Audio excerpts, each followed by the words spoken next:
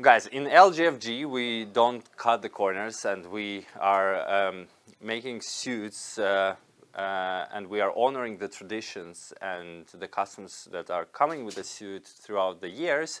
And so there are a couple of things that you probably won't be able to find in any other pants. Uh, one of the things, for example, is all our pants uh, are coming with a hidden pocket on the waistband.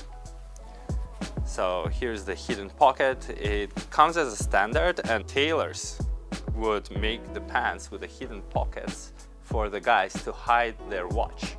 So the guys were asking for the tailors to make some hidden pockets here and there to hide their stuff uh, from, from the thieves and where else you would hide it if not in the front of your pants uh, in the hidden pocket that no one knows about. So uh, here it is.